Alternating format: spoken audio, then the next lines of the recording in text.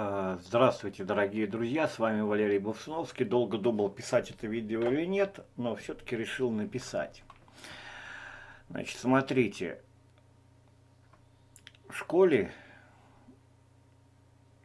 для начала, учитывая, что видео могут смотреть совсем новички, э, вот вы, когда переходите на сайт spb-tut.ru, вы попадаете в школу э, Python Django. Если вы увидите, то здесь есть практика Python OOP. Конечно же, при получении доступа вы получаете э, и доступ к самым первым урокам, где понимают дети 6 лет э, Python. То есть э, вы просто повторяете, и по видеоурокам, и все. И потихонечку начинаете программировать. Но сегодня я вот сейчас сформулирую э, цели этого урока. Это эффективное запоминание языков, да? То есть, по сути дела, так вот, сначала закончу эту мысль, то есть мы дальше развиваем язык, то есть Python OOP, э, и вот сейчас мы, допустим, в данном этапе перешли к очень сложным вещам. Просто магические методы Python это то, что методы с двумя нижними подчеркиваниями, я их разделил на категории, и мы начали проходить. При этом приведем примеры, а потом уже перейдем к основному уроку к основному уроку, да? Вот что значит человек отметил. То есть по ходу, когда мы перешли э, к Python OOP, именно к применению э, методов с двумя нижними подчеркиваниями, пошли мы по порядку. Э, после первого от ответа я посчитал нужным сказать, э, обязательно, ребят, подумайте над тем, как вы запоминаете материал.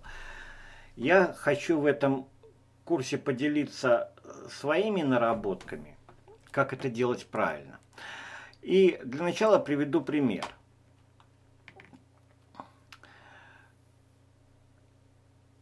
Кроме видеоуроков, в школе есть дополнительное обучение, которое идет в группе. Заключается оно в том, что я ставлю вопросы. То есть сначала я дал осознать, что мы сейчас будем делать. То есть мы должны изучить весь комплекс методов с двумя нижними подчеркиваниями, которые есть в Python, чтобы писать действительно э, классный, сложный код, э, производительный. Э, и пошли мы по шагам. Теперь обратите внимание. А, есть такой маленький момент.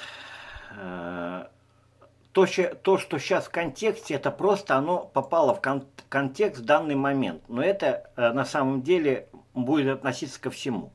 В данном случае просто получилось так, что мы начали рассматривать э, new и init. При этом init мы рассмотрели ранее.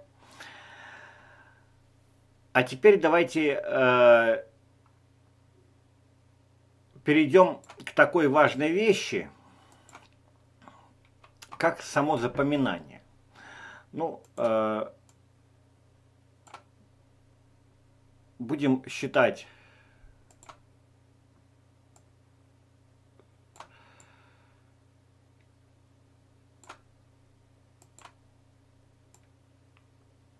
будем считать, что это области. Это язык Python.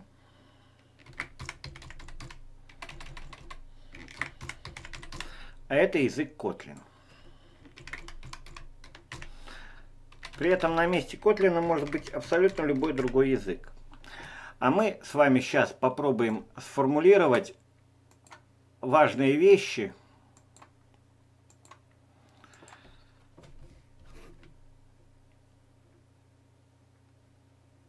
значит, запоминание языка.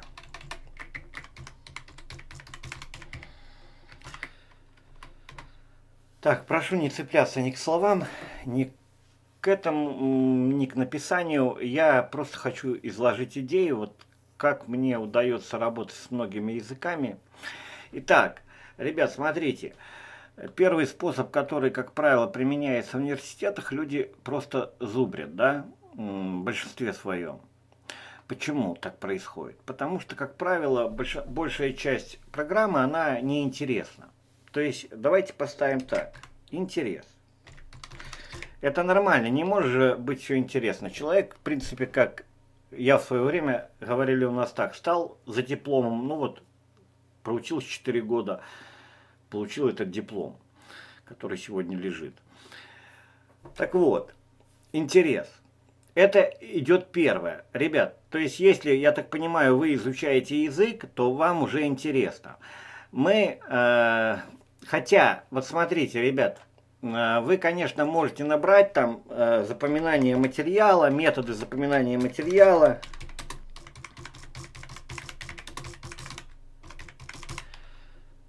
Так, ну, на, на английском то есть вы найдете кучу информации. Как правило, в большинстве своем эта информация будет примерно схожа, и э, большую часть э, люди осознают, но применять не могут. Я, вот я хочу сосредоточить внимание на том, как это применять. Ребят, самый простой способ, который э, э, я вывел за эти годы, это конкретно в мире программирования, это изучение двух языков. Ну вот давайте я вам покажу.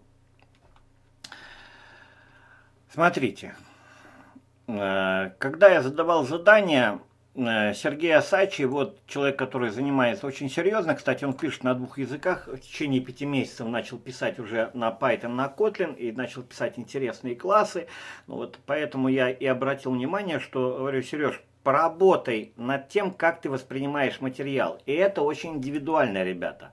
Все есть общее да, все общее. Но каждый из нас как-то э, запоминает материал каким-то своим способом. Для этого надо э, вот что сделать.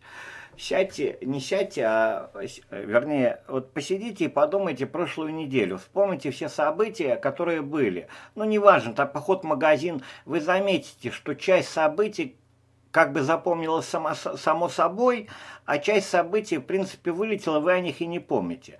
Абсолютно верно. В первую очередь этим влияет, э, на этом работает интерес и внимание. То есть, по сути дела, по сути дела, то, что нам интересно, интересно, и э, чему мы уделяем внимание, потому что это выглядит для нас, ну, интересно, то мы запоминаем как бы само собой. Для нас не требуется никаких усилий. Так вот, но в программировании есть маленький момент.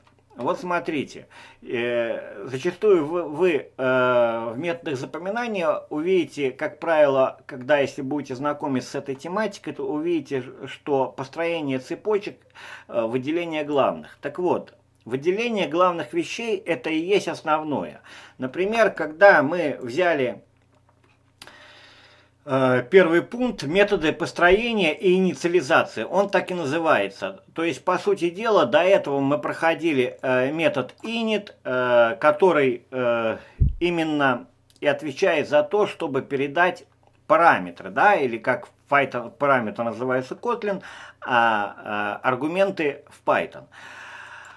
И давайте мы прочитаем вот, вот, это, вот этот вот вот эту вещь. Основное различие между этими двумя методами заключается в том, что new обрабатывает создание объекта, а init обрабатывает инициализацию объекта. Во время создания экземпляра эти два метода небольшие различия и так далее, и так далее.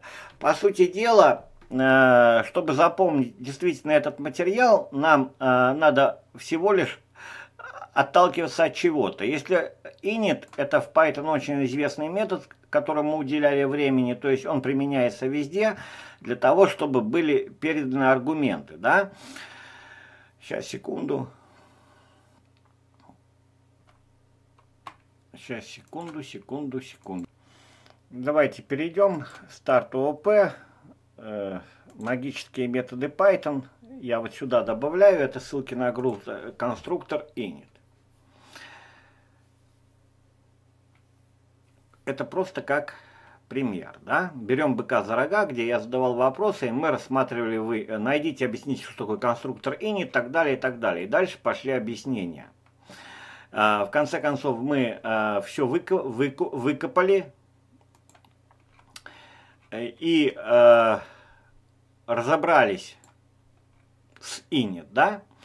По сути дела, на выходе, если человек читал, то если мы вот тут в скобках за передали, записали аргументы и применяя, когда мы применяем init, то э, вызывая экземпляр класса, мы уже можем просто поставлять данные, эти аргументы будут переданы. Вот это его задача. Понимаете, когда мы изучаем один язык, у нас нечем сравнить. То есть давайте сначала для начала запишем очень важный момент при изучении языков, сравнение. Вот смотрите, вот это э, основное, то, что дает вам двигаться быстро и уверенно. Э, если вы внимательно почитаете, ничего, что мелко написано, вы воспринимайте э, на слух. То есть основное различие между заключается, э, обрабатывает инициализацию объекта во время создания экземпляра. На самом деле здесь надо выделить слово, и я сейчас буду опять же это задавать вопрос ребятам.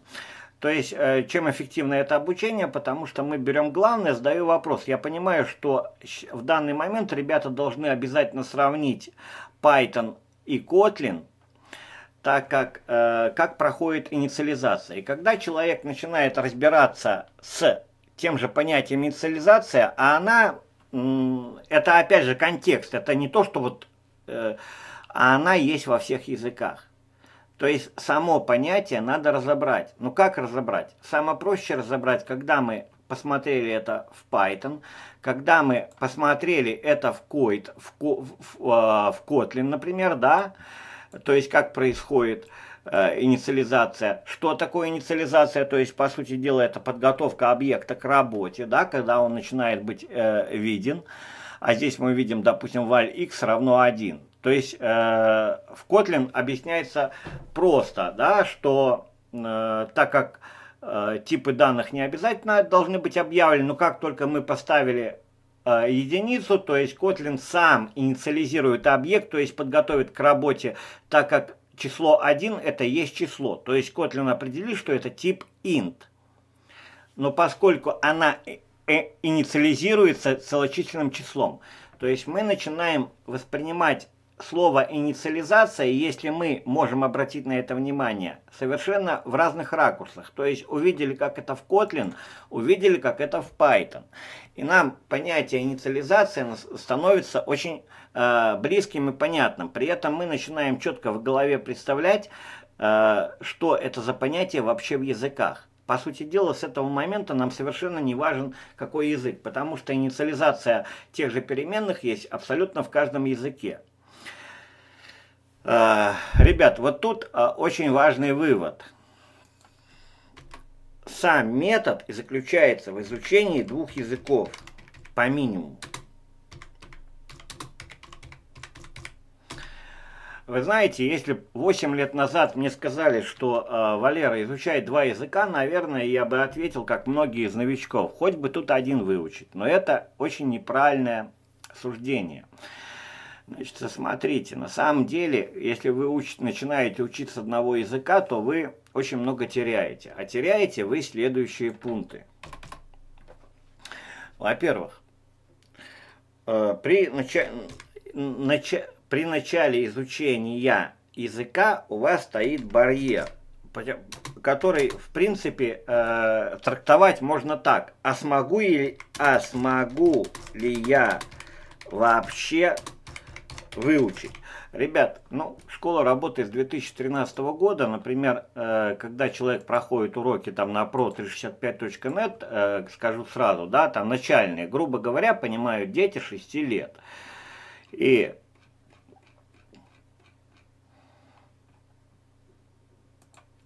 человек проходит, я просто к примеру показываю, да,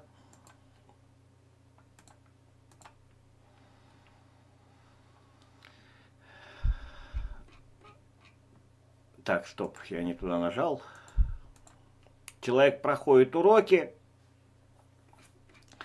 а, просто а, проделывает, повторяет, и он уже начинает понимать, э, э, что такое там тип данных, что есть тип данных э, словарь, список, кортеж, но на самом деле у новичка это еще то, что начали писать все, это факт, да, и то, что в школе начали программировать многие, многим я дал путевку в жизнь, потому что в первую очередь стал ждать, чтобы человек не бросил язык, да, так вот, но э, на самом деле этот барьер, он вымышленный. Вот смотрите, когда э, есть определенная методика, которую впервые, в принципе, я благодаря многим нашим ребятам, таких как Сергей Асачи, применил на сайте изучения Kotlin. Э, хоть школу начал в 2013, но это я применил Э, по-моему, конец 2017, э, начало 2018 года. Заключалась она в следующем. Если, допустим, посмотреть курсы Kotlin, то мы можем заметить, что идет сначала объявление переменных, а потом идут баз, работа с функциями. Баз там уже юнит, потом базовые типы, потом баз классы. Почему? Да это потому, что я знаю несколько языков. И просто я для себя понимаю, что так изучать язык правильно. А, может ли это запутать? Нет, не может. Почему так правильно? Смотрите, ребят.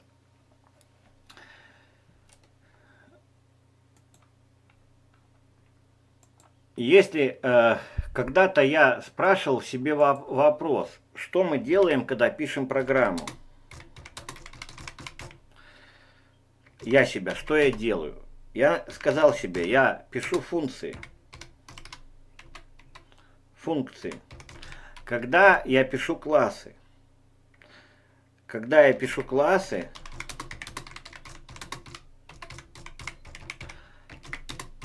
я в них пишу методы. Но ведь метод это и есть функция. Только просто просто-напросто Э, в классе э, для удобства метод, э, функция названа методом.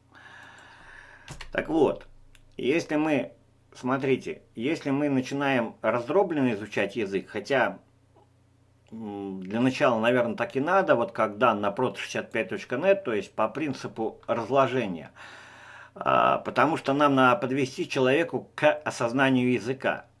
Сейчас это очень важная мысль, ребят, осознанию языка.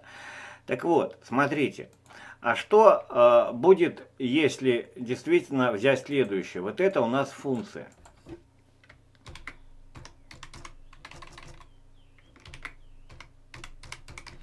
Функция. В принципе, это рабочая лошадка в большинстве языков.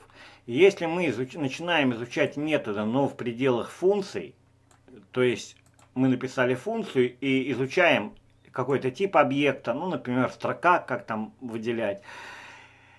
И на самом деле в этот момент мы начинаем тренировать действительно реальный язык. То есть э, это самый близкий момент при изучении, когда действительно язык дается эффективно. То есть и мы нарабатываем написание функций, а мы понимаем, что функция это и есть сама программа с определенными вещами, которыми она делает. С другой стороны, мы продолжаем изучать язык в пределах функций. То есть если мы хотим изучить, например, тип данных там строка, да, строка, то мы сначала пишем функцию, а, а в пределах функции пишем строку. И нечто там сделаем, добавляем, удаляем, это не важно, сейчас идет теория. Но самое главное, что у нас э, постоянно присутствует ощущение того, что мы действительно учимся программировать. Э, мы начинаем понимать функции, то есть мы учимся писать реальный код. Но смотрите, есть важный момент, который зачастую э, теряется, да? Вот этот барьер, а смогу ли я выучить язык? На самом деле э, язык сам по себе состоит из небольшого количества частей. Ну, давайте подумаем, да? ну, по сути дела, э, все языки стоят, вот возьмем по Python, да, встроенные типа объектов. Да, э, в Python там есть, надо же как-то выделять числа, строки, да, кортежи, словари, кортежи и так далее. Их немного. Но в Kotlin есть э, тоже строки, но только там называется массив строк. Но э, ведь разницы-то нет. Э, и там, и там строки, и там, и там действия с определенной последовательностью, при которой можно выразить символы. Так вот, если вы будете проходить уроки от простого к сложному, то вот этот вопрос на самом деле обычная страшилка. Его можно вообще сразу убирать. То есть он некорректен и не надо его бояться. Сразу надо идти снимать этот барьер. Когда мы изучаем два языка. Два языка, да? Когда мы изучаем два языка, то вот этот барьер вообще снимается. Вот давайте я приведу пример. На СПБ я собрал, вот хотите стать программистом, читайте, собрал некоторые вещи, э, которые, в принципе, ну, почитать, подумать. Вот здесь человек пишет, что его в банк взяли, он начал со школы. Ой, найду я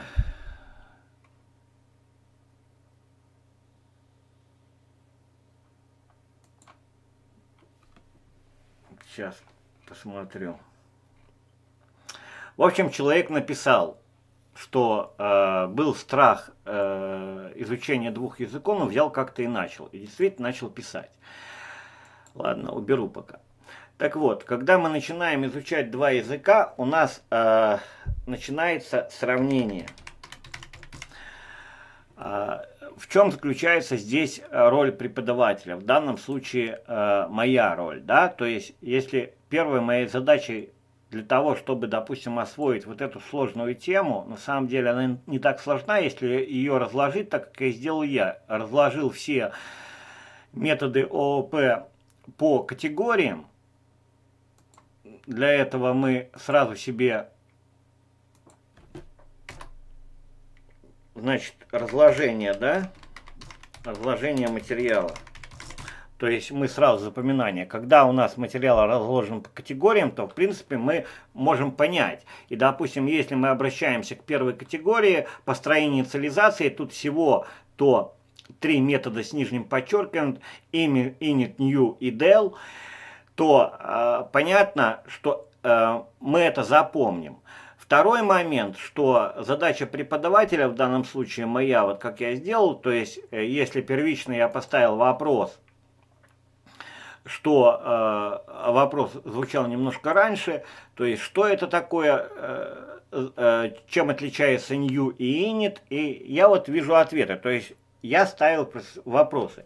Теперь моя задача заострить внимание, в данном случае человека, который делает, а делает сейчас я вижу Сергея Сачи, Э, значит, на инициализацию. То есть э, в данном случае э, для меня важно, чтобы он разобрался, разобрался, если я знаю, что он очень четко разобрался с init, да, с init, обрабатывает инициализацию объекта, да, и я знаю, что он это проделал, он работает с Kotlin, с Kotlin. Но сейчас основная задача, Сергей, если вы слушаете, то запомните, проделайте сейчас реальные примеры в Kotlin, да? От вас будет сейчас следующее задание, что, а вот так инициализируется объект в Kotlin, да? При этом действия, если заметите, в Python и в Kotlin будут э, одинаковые, но просто записываются по-разному. Но наша задача что сделать? Чтобы инициализация объекта в данном случае, она запомнилась. И тогда, э, тогда у нас э, соблюдаются все правила. То есть, действительно, когда мы работаем с двумя языками, нам становится интересно, ведь мы пишем. Мы сосредотачиваем внимание. Здесь очень еще важный момент спокойно. Спокойно разобраться. То есть, ребят, взяли одно понятие, и разобрались. Вообще, э, язык всегда изучается в первую очередь тем, что мы можем выделить главное. В данном э, случае, опять же, это пример. Если э, сначала я выделил главное по категориям, теперь мы начали изучать сами методы. При этом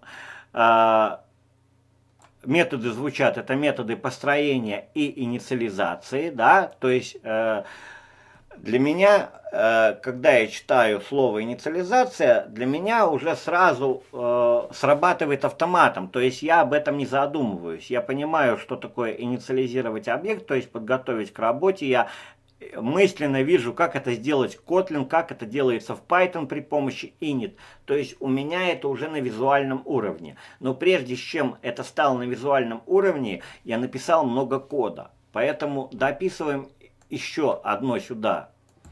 Писать код. Ребята, и писать код это краеугольно. Писать код.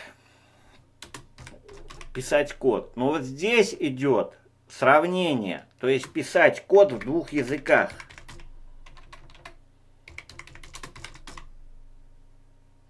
Когда мы начинаем писать код в двух языках, то у нас появляется такая вещь, как э, ученик школы Александр Сидорушкин называл это, наверное, наиболее правиль, правильно. Осведомленность о устройстве языка.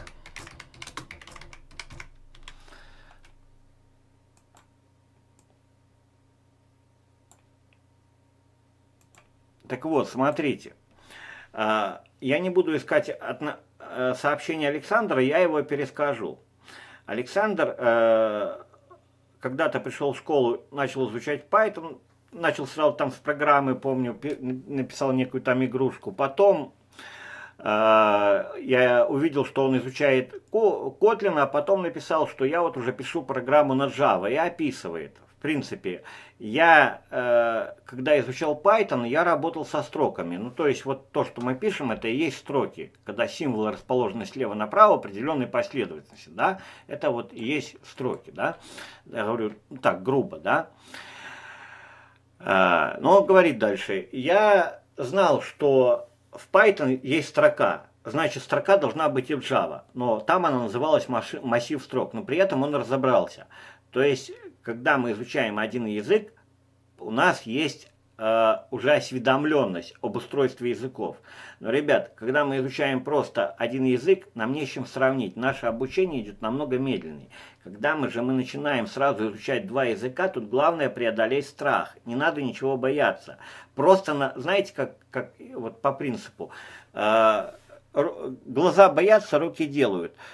Ведь э, если посмотреть те же ресурсы, тот же Kotlin, здесь же тоже идет все с нуля.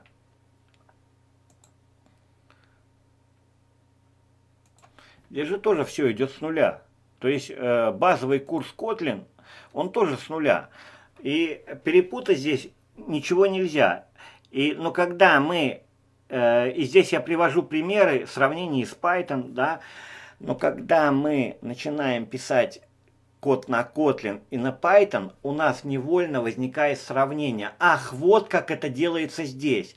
И само понимание то, тех же типов данных, той же инициализации, тех же, особенно, я бы хотел сказать, типов данных. Потому что, как правило, новичок, когда из, начинает изучать типы данных там Python, ну, например, там он э, пишет я э, взял любой код, да, это сейчас э, мы пишем социальную сеть на Django, это не так важно. То есть, смотрите, э, для новичка, вот у меня когда был прорыв, вот я расскажу про себя, я изучал, изучал Python, и однажды вот я начал работать с Django, и вдруг заглянул в файл настроек, и смотрю, вот, вот одна апостроф, да, то есть и вторая. Я говорю, ба, э, то есть э, одинарная кавычка, это строка. Тогда у меня был прорыв, то есть я увидел, что а вот так используется уже строка. Для меня это было не просто одинарная кавычка, для меня это уже в тот момент стало типом данных. И строка это расположена в списке, потому что я для себя понимал, что э, Python э, использует квадратные скобки для списка. То есть в списке это э, список из строк, да, где они разделены э, э, запятыми, но это просто название, э, в данном случае, мидвер классов промежуточных.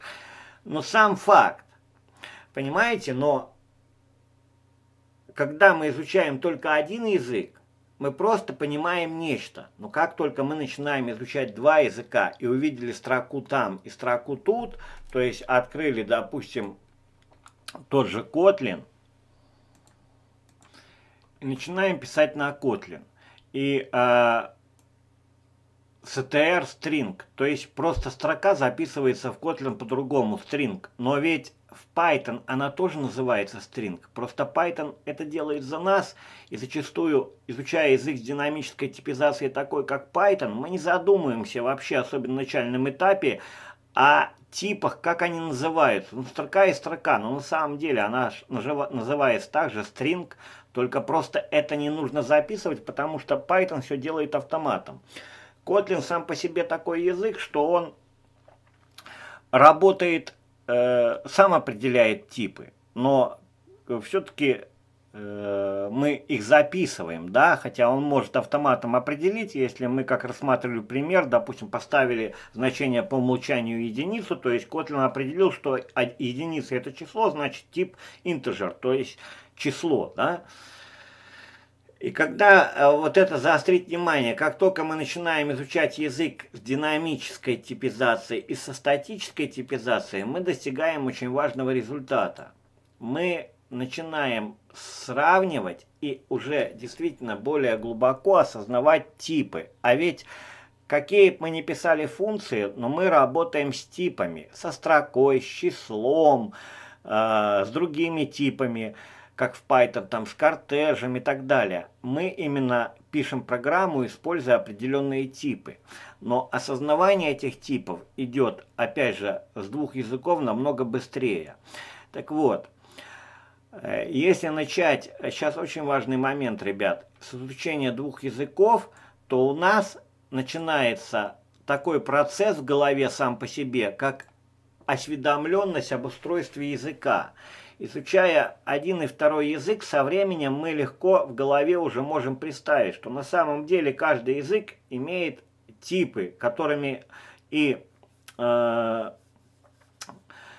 э, как это правильно сказать, э, фигурируют, нет, нет, нет, нет, которые и используют при написании какого-то, при написании кода. То есть мы используем там список, когда много чего добавили на строку, то есть э, в данном случае эта строка, да, но она содержит в себе и путь, и э, название модуля, который нечто делает, да, то есть, ну, записан как строка, а что это для нас значит? Что просто строка это э, переданы символы слева направо определенной последовательности. И мы четко понимаем, что в строке они не припрыгнут. Э, поняли, да? Это важный момент.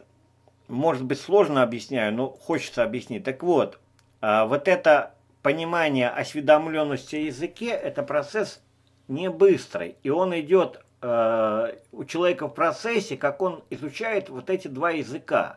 Он посмотрел типы в одном языке, во втором. Он написал функцию в одном и втором языке. Она по-разному записывается, но принцип один и тот же. И там, и там есть функция.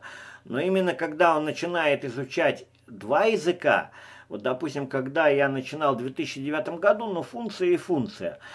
Это потом, намного позже, я узнал, что функции бывают первого уровня и так далее, и так далее. Э, и сегодня, если мне надо написать на каком-то языке, я открываю, а что из себя представляет функция в этом языке. Вот, допустим, если в JavaScript там написано, что здесь функция это функция первого уровня, мне опять все понятно. Но ведь я бы этого не знал, если бы я не изучал других языков.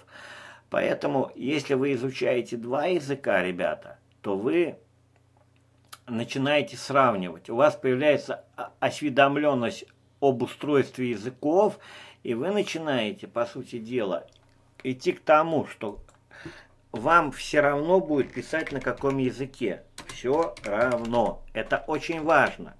Но вот это вот все равно, то есть, по сути дела, когда вам надо третий язык, вы его не учите уже полноценно. Вы просто быстро смотрите, а что себя представляет язык, и сразу на нем пишете. Вам, а, так как большинство понятий, такие как там, допустим, инициализация, я говорю, к примеру, переменные, типы данных, типы объектов, сами объекты, у вас все эти понятия уже есть в голове но эти понятия есть во всех языках. Так вот, изучение двух языков – это и есть заложить эти понятия.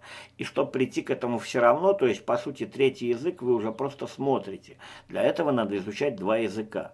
А, наша основная тема была эффективное запоминание. А, мы сначала посмотрели, что есть интерес – но э, поверьте мне, когда вы сравниваете два языка, вам действительно интересно, потому что сам по себе вопрос встает, ага, а вот как здесь это работает. Внимание у вас затрачивается, э, вы сосредотачиваете внимание, потому что хочешь не хочешь, когда вы сравниваете два языка, они записываются по-разному. И здесь не надо, главное, бояться, что вы запутаетесь. На самом деле это всего лишь синтаксис, который написал раз, два, три, и хочешь не хочешь запомнишь. А вот понятие э, вынесешь, что функция есть там и там. Поэтому главное, ребята, не бояться изуч... и писать код. Так вот, есть еще очень важный момент, который влияет на, на запоминание. Я его называю личный опыт. При этом э, я неплохо продаю и, и делал обучение, но как-то меньше им люди интересуются. На самом деле личный опыт и есть основной принцип продаж. Когда человек, если пришел на ваш сайт и он чему-то научился, конечно, он это купит.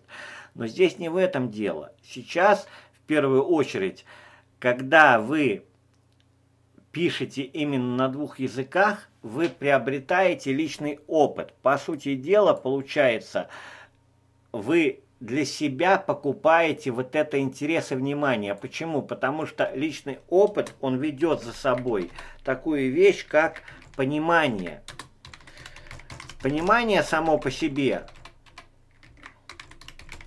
и дает вам силы. Когда вы осознаете, что вы действительно понимаете то, что делаете, у вас появля... появляется действительно энтузиазм. Этот энтузиазм мы и используем для следующего шага, для следующего продвижения. Но зачастую люди забывают простую вещь. Я об этом говорил, но вернусь сейчас к этому же. Понимаете, нельзя упускать э, осведомленности, ну вот этот процесс осведомленности об устройстве языка. Почему? Потому что рано или поздно вы язык выучите, но вам все равно понадобится еще какой-то язык. И тогда, допустим, вы затратили, сейчас важно, ребята, один, два, три, пусть там три года, четыре, да, уже язык изучаете. И вы понимаете, что вам надо еще какой-то язык. И только через 4 года вы начинаете переходить к процессу осведомленности, то есть вы потеряли время. Если вы послушали меня, а я думаю, что многие послушают, и начнут изучать сегодня два языка, то процесс осведомленности и понимания языка начнет становиться у вас в правильное русло с первых шагов. Значит, ваш личный опыт, ваше понимание будет намного ярче. У вас будет действительно понимание. Но кроме этого, у вас будет осознание, осознание на реальном опыте. Осознание на реальном опыте, как работает язык. И, ребят, смотрите, вы можете читать сколь угодно, сейчас переходим к сути, да, я вам, помните, набирал в начале, что методы запоминания –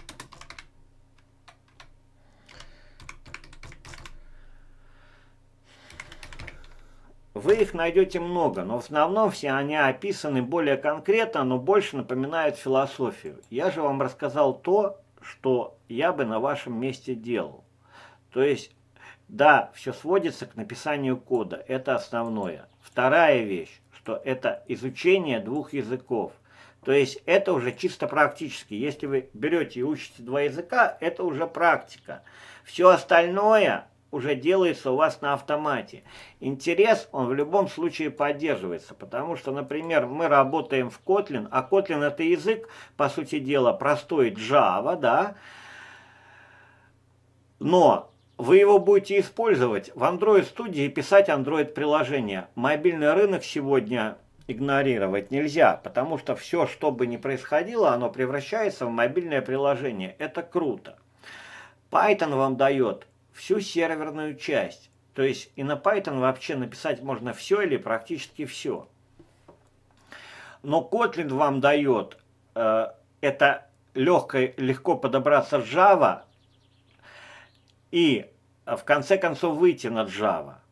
И в результате вы будете э, идти в правильном направлении, потому что такие языки, как Java, который вообще занимает первое место, Python, который используется и Kotlin, то есть у вас и мобильный рынок, и, и веб-рынок в кармане. И при этом вы не теряете интерес. Поэтому моя задача была, не знаю, насколько моя задача, докончу мысль, было показать, вот как я использую, как я рекомендую использовать вот это вот запоминание. На самом деле практически это первое изучение двух языков. Мы с вами рассматривали, ранее я рассказывал, почему это важно. Потому что, э, потому что у нас должно идти осознание языков на реальном опыте. Тогда отпадает отпадает э, такая вещь, как э, зубрежка, да, потому что, ну, нет смысла.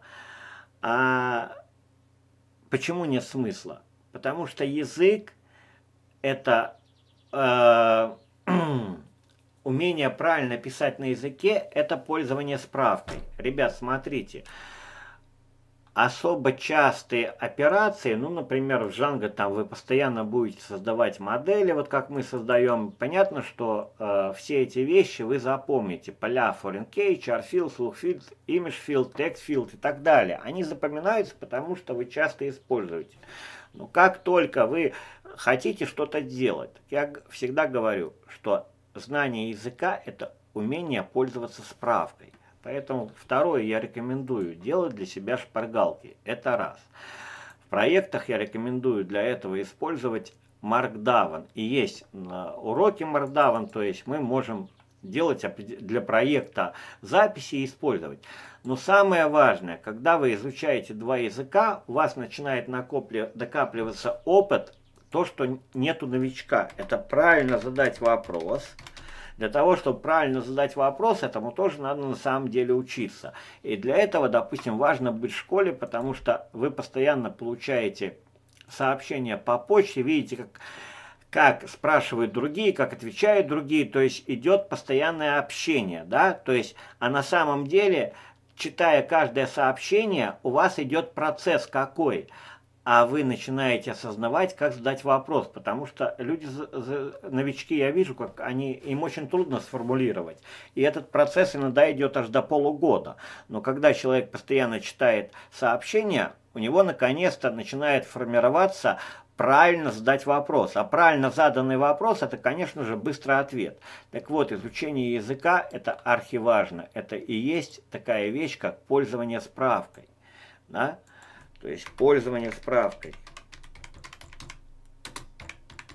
Нельзя все запомнить, но когда мы начинаем изучать два языка, и, ребят, смотрите, важный момент, пользование справкой, в принципе, когда, сейчас я подумаю, сформулирую, смотрите, э, ну, э, э, более подробно, да, например, Сейчас я показываю, как писать социальную сеть, да, на, на Django. То есть мы пишем, я говорю, к примеру, да, сейчас социальную сеть и делаем эти уроки, да.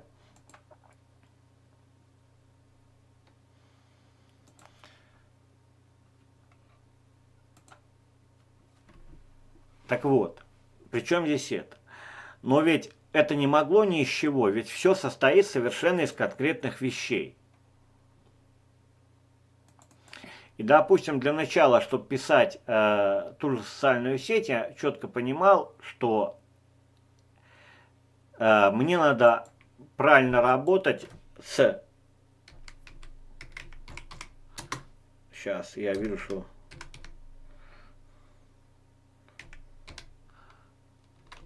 И не, не так.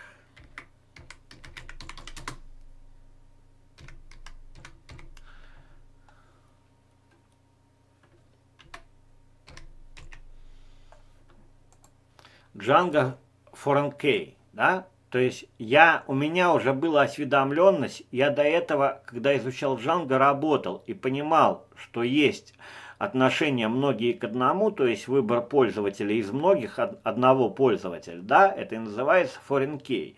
Если бы я ранее этого не знал, то я бы не мог себе задать вопрос, а из чего я буду составлять свою соцсеть. То есть мне надо действия а, определенного пользователя, да, э, который может написать записи, можно будет определить. Так вот это и есть пользование справкой. То есть, когда вы понимаете, что вам нужно, можете легко найти, а как это работает. Но все это не берется ниоткуда. Пользование справкой вообще это и есть залог успеха программирования на любом языке. Потому что, когда мы понимаем, чего мы хотим, и это архиважно, ребята. И как это спросить, ведь ответы в интернете есть все. Но для этого мы всегда можем набрать. Но пока у нас не началось вот этот процесс осведомленности об устройстве языка, мы всегда будем ограничены. Осведомленность об устройстве языка, как я говорил, она не может э, не может, допустим, появиться, когда мы изучаем один язык. Нет, ну по сути дела логически, но этого не происходит сразу, да, что мы понимаем, что язык состоит из типов объектов, то есть там строка, список и так далее, что есть какие-то операции, что есть классы, что э, классы в себя включают там э, наследование и так далее, и так далее, и так далее. Но когда мы изучаем один язык, все это однобоко. Когда мы изучаем два языка, нам приходится сравнивать. А вот где есть сравнение, ребят, смотрите, сравнение, то у нас начинает осведомленность и включаются сами собой такие вещи, как интерес, внимание, а как это происходит. Мы начинаем раскладывать материал по полкам, потому что хочешь не хочешь, если мы пописали написали код, ту же строку на Python, потом ту же строку на Kotlin, то в конце концов мы разложили, ага, и там, и там есть строка. И это важно. Конечно же, получается, получается следующая картина, что, конечно же, мы должны писать код. Как метод брать я рекомендую изучение двух языков. А, В результате, в результате обязательно присутствие в определенном сообществе. В определенном сообществе, где вы идете по шагам. Потому что э, в интернете много материала, но зачастую он разбросан. Я делал школу от простого к сложному. Грубо говоря, чтобы мог изучать язык, человек там... Я знаю, что мне писали родители, что вот их ребенок там 6 лет изучает язык по моим урокам. Это правда. Но нельзя же прийти сразу, вот допустим, сейчас я даю уроки по э, созданию социальной сети. Нельзя к ним прийти просто, как зачастую спрашивают, а надо ли изучать Python? Э, если мы изучаем Django, обязательно изучать Python. Но если вы не изучите Python, то что будет происходить? У вас это будет не строка, а просто одинарная кавычка. Ой, не поставил одинарную кавычку. Но ведь это ужас, ребят. Какое же это программирование?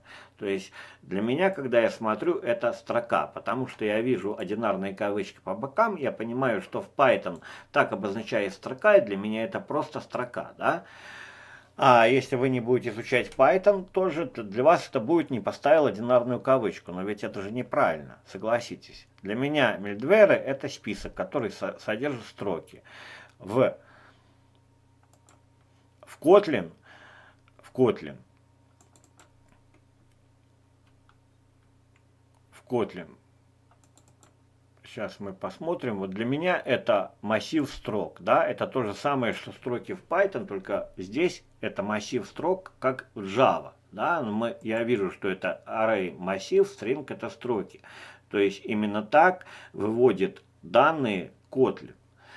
При этом для меня и для вас в будущем это не будет Э, вызывать никаких сложностей, потому что строки есть и там, и тут. На самом деле сложно только на первом этапе. Но этот первый этап лучше преодолевать сначала.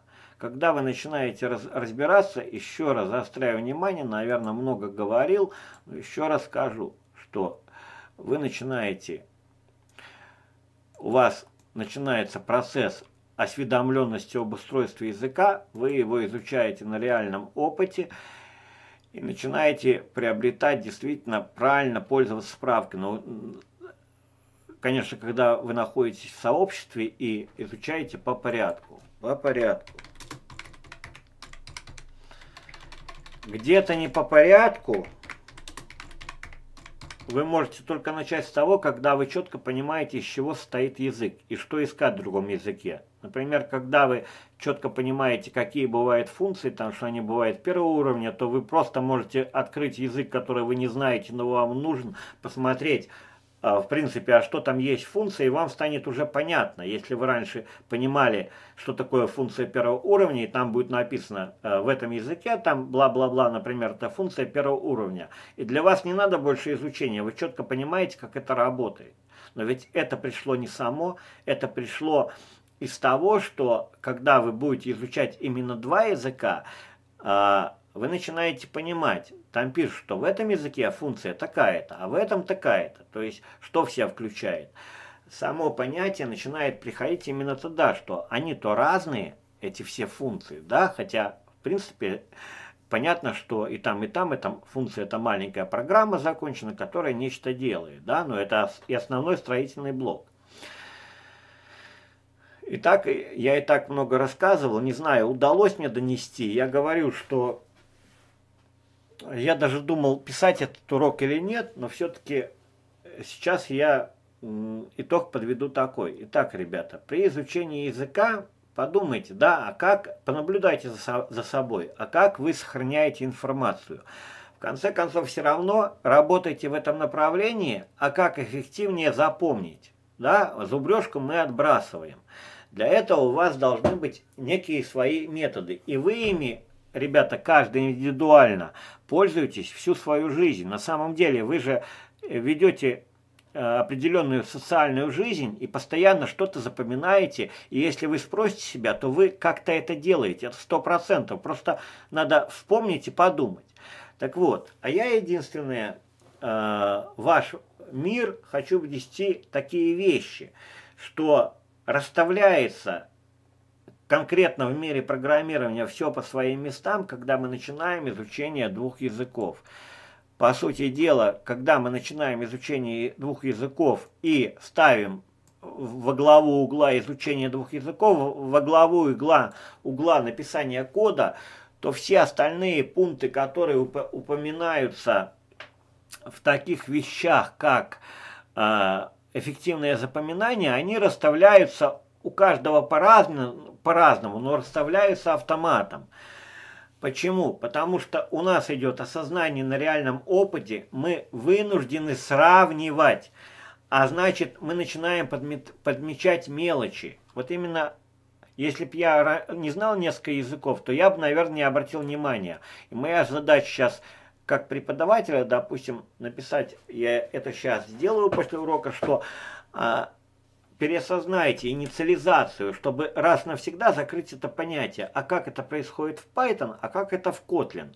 И я четко понимаю, что вопрос инициализации объекта будет закрыт. При этом э, это еще не все. Это не значит закрыт, а это понятие попадет в внимание изучающего человека. И он будет понимать уже на автоматическом уровне инициализирован объект нет, он будет принимать ошибки и так далее. Поняли, да, ребят? Э, каждый, возможно, вынесет э, что-то свое, не судите строго, но я попытался рассказать именно такой, может, философский, но в основном практический способ, который я использую в школе. Спасибо. Для тех, кто начал с этого видео описания, э, то есть ссылки в описании будут на сайт spb-tut.ru и на второй сайт, на сайт Kotlin. Начните с первых уроков, быстрый старт, попробуйте с Android Studio, попробуйте с Python, и все будет нормально. Спасибо за доверие.